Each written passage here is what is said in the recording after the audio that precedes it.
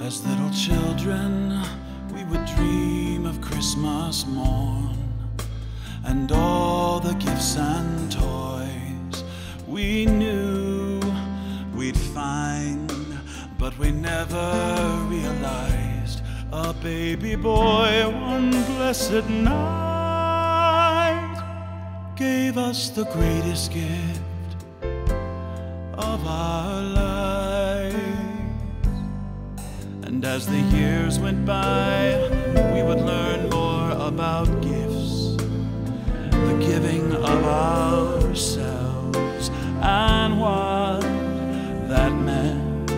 On a dark and cloudy day, a man hung crying.